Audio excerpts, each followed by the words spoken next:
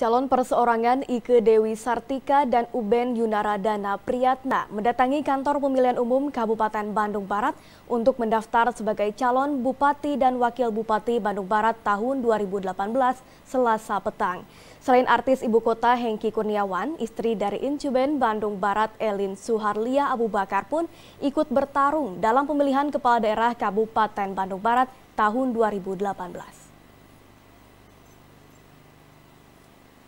Kedatangan calon perseorangan Ike Dewi Sartika dan Uben Yunaradana Priyatna langsung diterima lima komisioner KPU Kabupaten Bandung Barat yang dipimpin Iing Nurdin.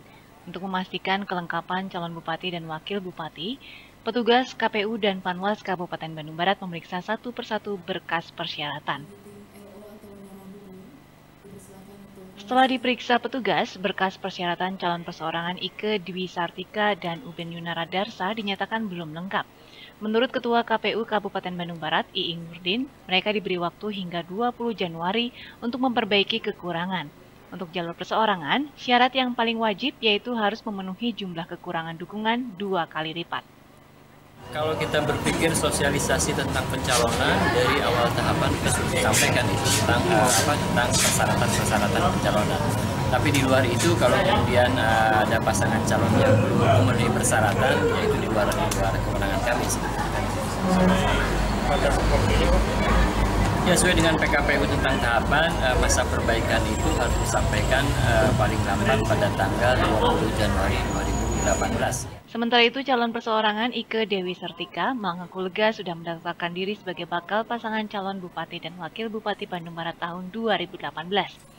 Waktu persiapan yang singkat membuat sejumlah berkas pendaftaran menjadi kurang, seperti surat pernyataan dari pihak ketiga dan surat pernyataan tidak valid dari pengadilan. Terpanggil karena e, Bandung Barat ini merupakan salah satu daerah e, penyanggah ibu kota yang memang harus betul-betul dikelola dengan secara baik. Rencananya ada tiga bakal pasangan calon Bupati dan Wakil Bupati Bandung Barat yang mendaftarkan di hari penutupan proses tahapan Pilkada Serentak 2018. Selain artis ibu kota, Hengki Kurniawan, istri incumbent Bandung Barat, Elin Suharlia, akan ikut bertarung dalam pemilihan kepala daerah Kabupaten Bandung Barat 2018. Algi Muhammad Kifari, Bandung TV.